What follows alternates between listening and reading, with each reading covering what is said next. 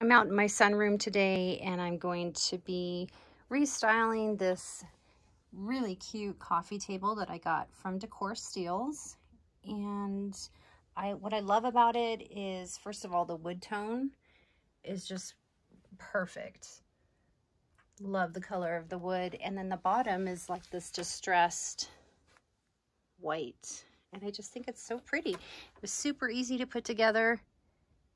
And I love how the white and the wood come together and it looks like a tray on top. Love it. I'm styling something like this. I like to keep it pretty simple. Um, my first item that I have is this white vase with sunflowers in it.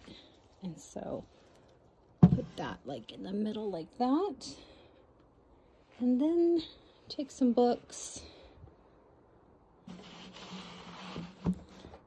some books next to it like that. And I probably would just leave it like that, but to add a little extra something, add in these beads on the books and kind of just toss it like that. Done. So I'm liking that a lot. And then I also have this way